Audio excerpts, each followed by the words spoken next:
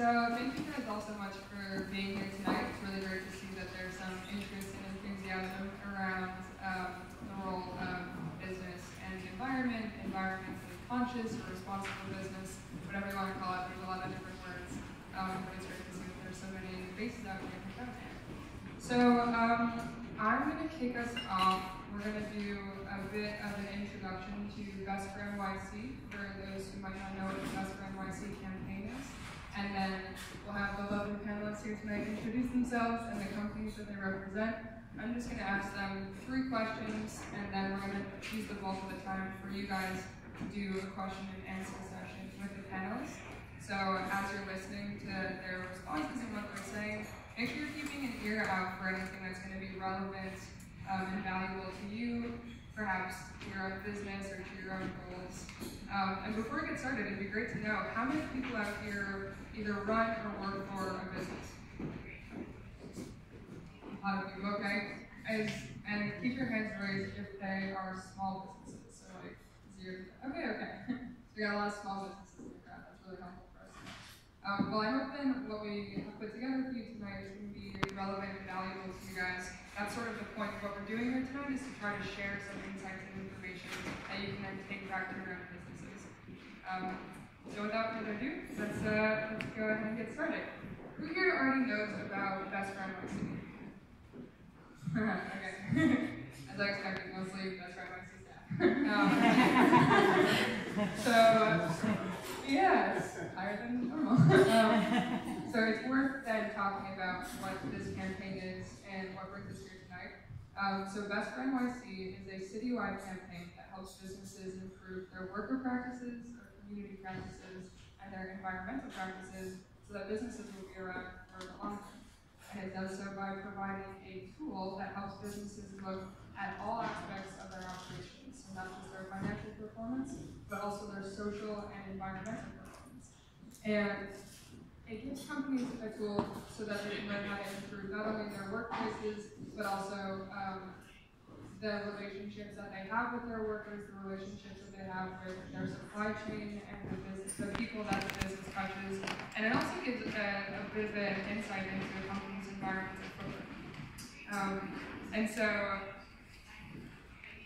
while we normally talk about the Best Challenge as something that, as something that helps businesses both um, track their performance and can be used as sort of a business intelligence tool. If you're just starting a business or you're hoping to start a business at some point, it can also be used just as an educational tool and a planning tool, like a thought exercise, like knowing you revisited so you can learn about what you might be doing now, what you want to be doing later, and what options you have as a business owner. So I would highly recommend checking out the Best Memorizing Challenge if you haven't already done so. That's the online assessment that underpins the whole campaign. Um, and when you complete the challenge, you become a part of the Best for NYC campaign. That's what makes you a participant in the campaign. And the idea there is that we're working to grow what we call the movement of people using business as a force for good for New York City. So when you complete the Best for NYC campaign, you help us grow that business. So please do so if you have not yet done it. So a lot of businesses out there, not a lot of hands raised, and it's a really great way to take action in your business and to learn um, how your business can play a positive role for New York City. So that's the Best for NYC campaign, a little bit of context. What brings us here tonight is that uh, once a business completes the challenge, they get access to all the events and programming that we do um, to help businesses learn how to actually make improvements to their business practices. So we put on events that are focused on specific topics that share some insights, like I mentioned, some learnings around what it actually takes to make changes that companies want to make um, with an impact lens. Um, so, um, what we've seen, while, while in the campaign have a focus on worker practices, we see that through Best for NYC, uh, a business's environmental footprint or their environmental impact is generally always an area for improvement. Um, there's a lot that can be learned there and a lot of improvements that businesses can make. So we're going to be featuring these three wonderful businesses tonight to start to um, share a little bit more resources around what it really means to be an environmentally responsible or an environmentally conscious business. And we've got a really wonderful of businesses. All three of them are uh, part of the Best for NYC campaign, and they're also certified B corporations, which means that they reach a high level of either social or environmental performance Um, for these guys, I'm guessing most of that's coming from the environmental side, but probably the social side too a little bit. Um, and operational, because it's a holistic assessment. Great. um, and so, yeah, I guess I'll just turn it over to you guys now. Um, if you could just introduce yourselves, what companies you represent, the model, the mission, and uh, a couple of environmental features of your companies, that would be great. So maybe on. Okay. Um, can you hear me? Got the microphone. I'm not on. the So my name is Michael Forte. I own Pisticci Restaurant. It's located in Morningside Heights. That's a small area New York City sandwiched between the Upper West Side and Harlem. We've been in business for 15 years now. We have about 45 full-time employees and a few part-time employees. 15 years in business for a restaurant is actually a pretty good goal. And um, when we first started our business, it was a new venture for us. When I say us, it's my wife and myself. That's the us Pisticci Restaurant. When we started this business, it was a new venture. I never owned a restaurant, nor had either of us worked in a restaurant before. So um, we looked at what did we want to create. We wanted to create a place that we like going to. Okay, so we started looking at the restaurants we would go to all the time. Why do we keep going to the same restaurants? I lived in the West Village. There were a ton of restaurants, a ton of really great restaurants, but I kept going to the same ones all the time. It was about the people. It was about the vibes. So how is that created? So we found that people, they share the same passions, the same ideals that we do, the same that I assume you do because that's why you're here. That's what Best of NYC is about, the people. So in creating a space like that, that's like part of the passion as well. So we have to work with our passion. If you can do that as a small business, then you know that's like getting that gold ring on merry-go-round. You, you really you won the prize with that one. So initially we looked at our people, as said, because at the end of the day, your staff is your biggest investment. Every, how can you treat your people well? Obviously, a fair wage, vacation time, flex time, profit sharing were some of the things we implemented. We offered English classes for all our non-speaking um, staff. So there is an expense to that. But on the other side of the expense, there's a payback. What's the payback? The payback is really engaged, dedicated staff. Mike Kitchen has been with us for since day one, 15 years. Pretty unusual, very unusual in the industry. Our wait staff with us a long time. Our other passion that we look at after our staff is the environment. That's what we really get the. That's a real passion of mine. Two small kids, concerned about probably we're the same things you are. So we looked at our business practices. The first thing we did was look, what we do to reduce our impact on the environment? Reducing our carbon footprint. We hear a lot more about that with Relight energy efficient equipment. See as we tell you about that. Um, and uh, so after making those changes, getting our footprint down to what we thought was about as small as it can be, we started to look at where's our energy coming from, our inputs. So then we got renewable energy, all, all electricity supplied by wind. That's great. Then we started looking at, okay, but we still pollute. We're a restaurant. We have gas stoves We throw garbage. That garbage goes to landfills, turns to methane gas. So we looked at our carbon footprint and measured our carbon output, and then purchased carbon credits for 100% of those carbon outputs. We thought we were doing pretty good. What's next? Now, the main thing I think really me most excited as a New York City restaurant owner I'm going to talk about compost. And that may not sound like the most sexiest thing a New York City restaurant can talk about, but we um, installed a compost system behind our restaurants. And now we can compost our organic waste. Our napkins, our brines, our lines, our offcuts, our food scraps go into this compost system and it makes compost. Compost is the backbone of organic growing. We have this great compost, and now with that compost, we started two small farms. those small farms supply the produce, seasonal produce for our restaurant. During the winter, we have greenhouses a little less. During summer, we produce all our seasonal produce that we use to a point we're going in the second year, which was relatively new, we started going whether we needed. So then we started to having a farmer's market outside the restaurant.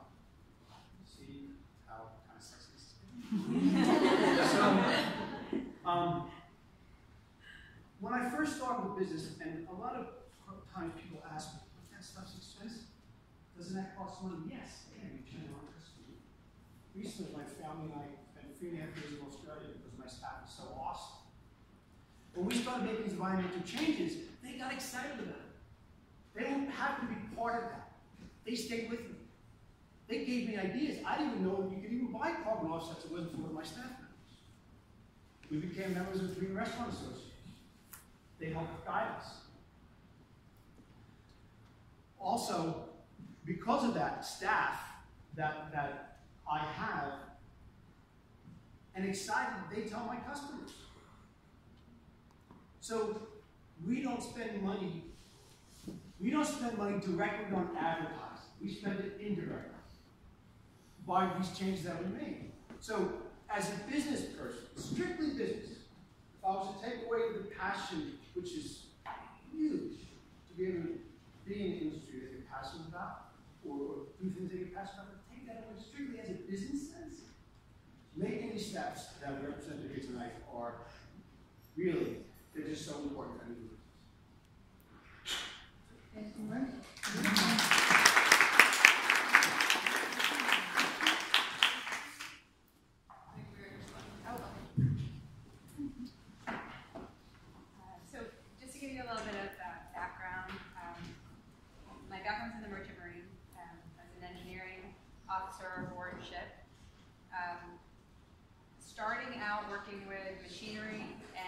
understanding how to break things.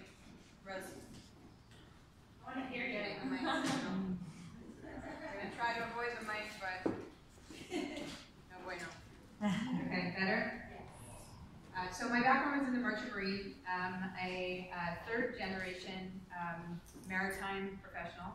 Um, we work on land and at sea now, uh, and our team is predominantly from the maritime background. Um, extremely diverse um, team members that are incredible, several of which are here. Our Assistant Logistics Coordinator, Hannah Pell, James Gilbooty, our Senior Project Engineer, and our Chairman, Stefano Selexiu.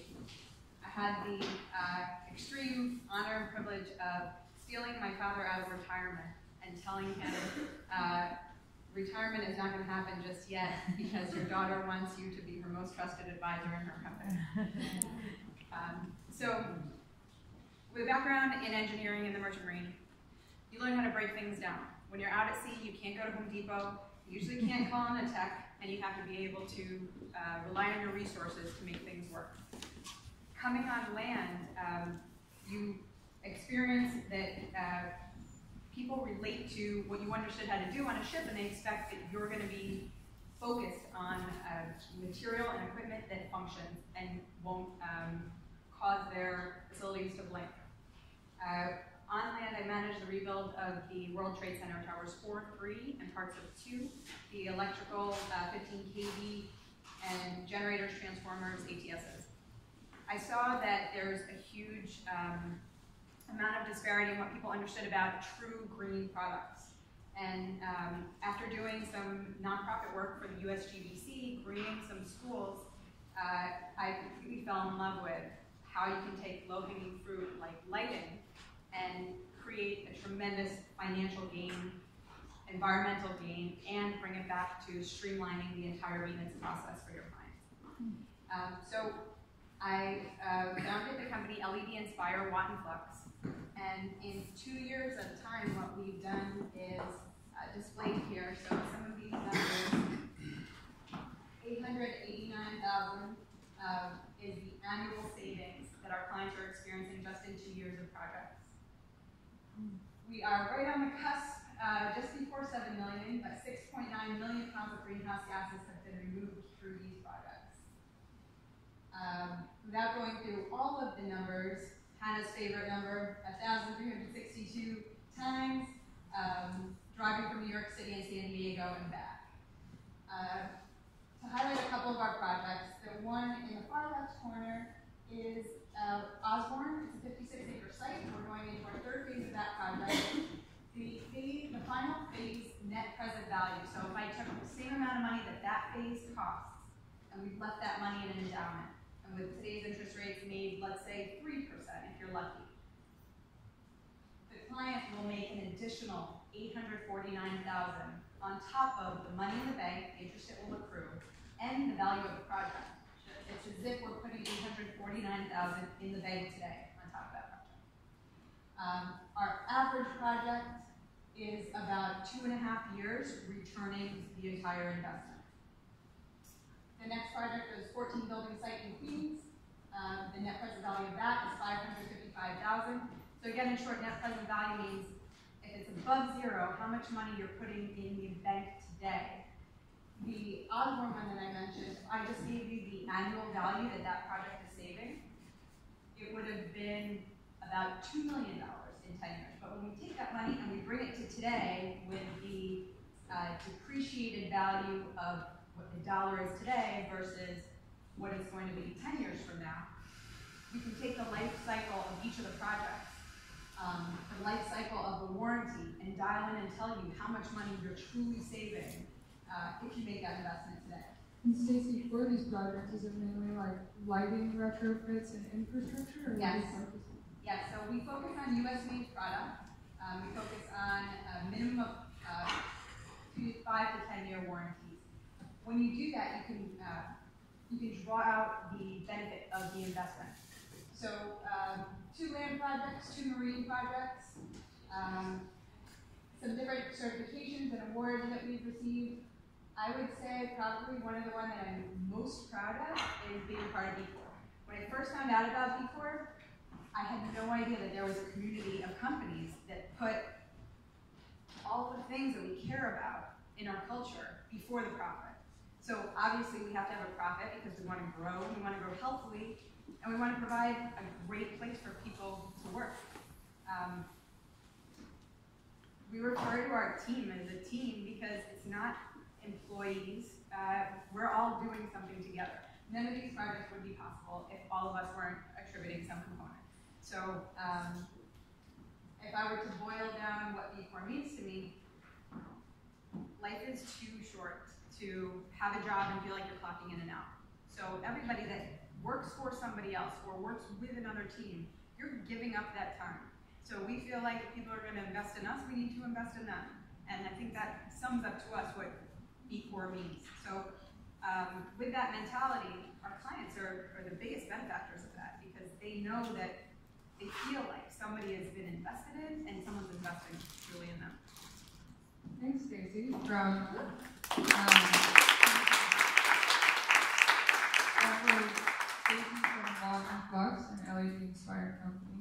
We have Michael from Pisticci, the restaurant, and now Ray, do you wanna tell us a little about your company? try and fill in the gaps. Um, can everyone hear? So the motto of our company, I guess, is bridging the gaps to a carbon neutral world. And I guess I'll, I've laid out basically the progression of what our history as a company is. And I think uh, it complements what Stacy does very nicely because she works on pretty large scale projects and we kind of uh, have ended up focusing on middle markets. And the reason for that is because when you look at the breakdown of the global carbon footprint on an annual basis, and a lot of times people think that, you know, if the biggest corporations in the world, let's say Fortune 2000, 5000, if they are able to kind of pave the way, be the real big players here, make, let's say, again, Fortune 5000 is uh, carbon neutral tomorrow. And people think, like, oh, that's very substantial, that should do a lot in terms of our goals of kind of limiting the most severe impacts of global warming. If you look at that in reality, however, um, there are about 100 million or more businesses in the world, so that's only about uh, 0.05% of the businesses who would have the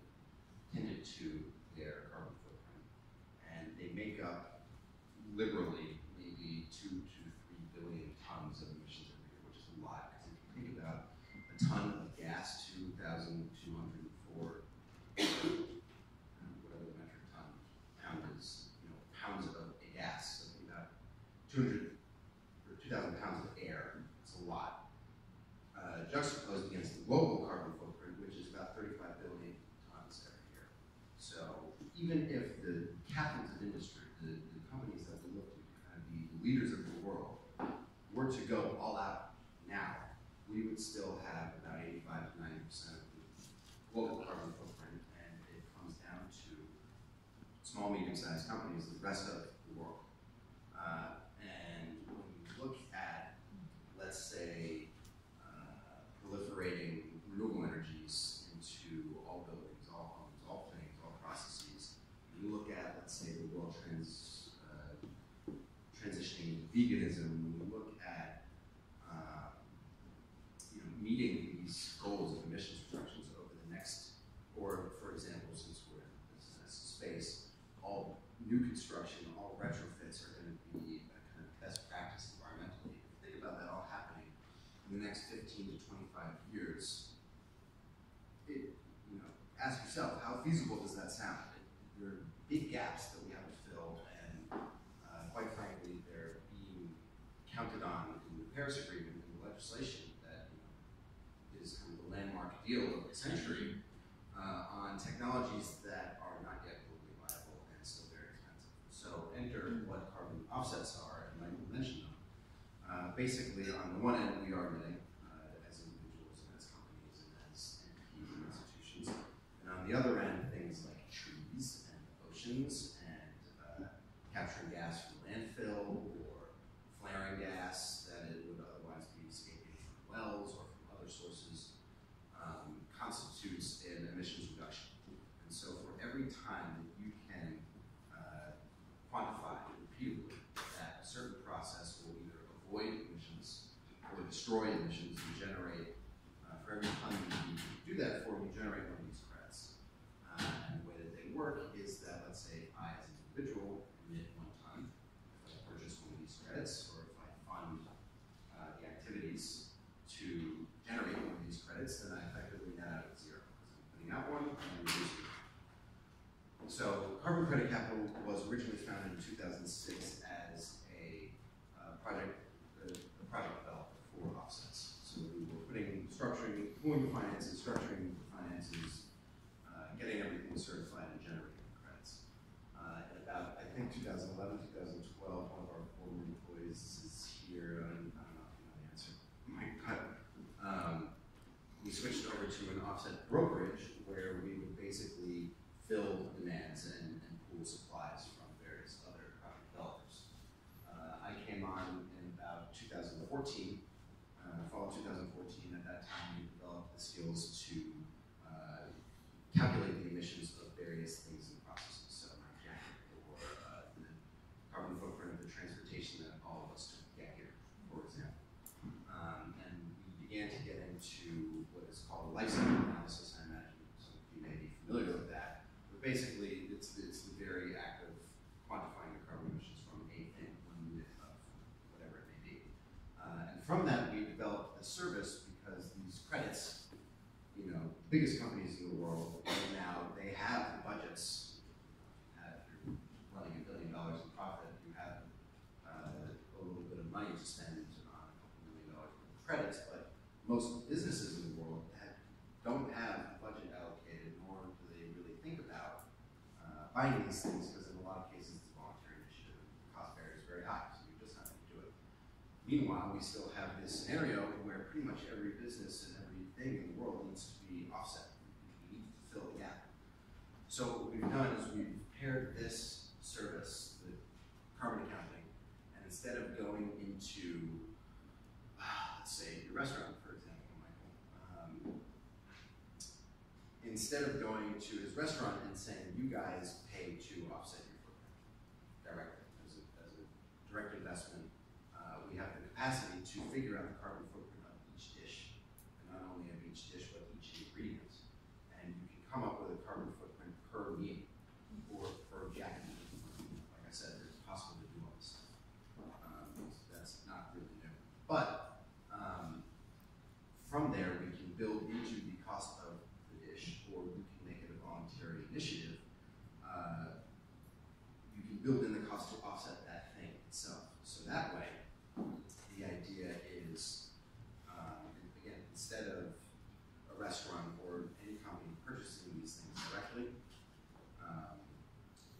build it into the cost of goods when those goods or services are purchased. The very act of doing business is actually eliminating the carbon footprint of the business. So if companies uh, build carbon, it's effectively uh, a voluntary carbon tax.